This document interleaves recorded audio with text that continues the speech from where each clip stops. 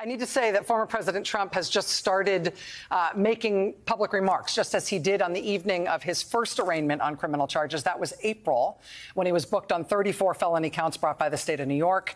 Now, tonight, after his arraignment on federal felony charges, he's speaking again, this time to an audience of his supporters that's gathered for a, a campaign fundraiser tonight at his, his golf club and summer home in New Jersey. Um, we knew heading into this that he was planning to make these remarks. We are prepared for his pre fundraiser remarks tonight to again be essentially a Trump campaign speech.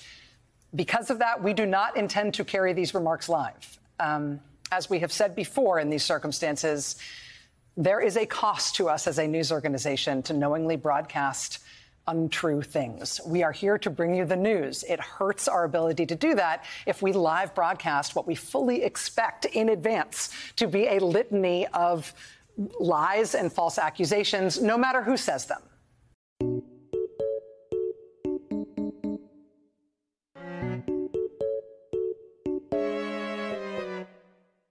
As new COVID cases, hospitalizations, and deaths all start to rise again for the fourth time in this country, Dr. Walensky is a scientist. She is not prone to hyperbole. She sticks to the facts and the data. When she talks about having a sense of impending doom, that seems like something we ought to listen to.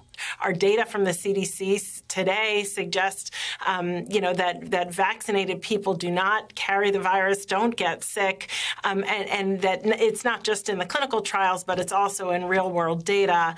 Um, we can end this thing.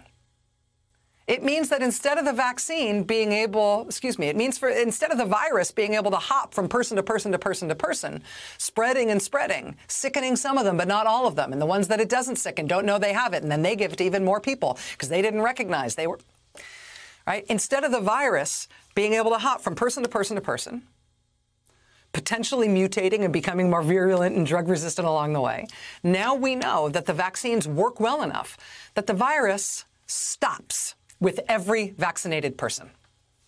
A vaccinated person gets exposed to the virus.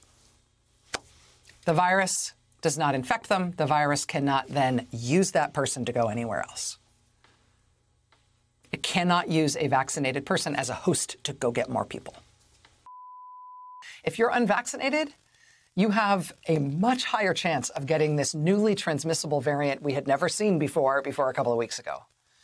And it's the unvaccinated people who it's going to make sick. And we really just cannot afford for you to have to go to the hospital right now. I mean, looking all around the country, depending on where you live, there is a very good chance there's no room for you in the hospital right now if you need to go. And if you can somehow get a bed because you got COVID and you got sick from it because you weren't vaccinated, if you are able to get yourself into a bed, you're going to be filling a bed that somebody else really needs there is a cost to us as a news organization to knowingly broadcast untrue things.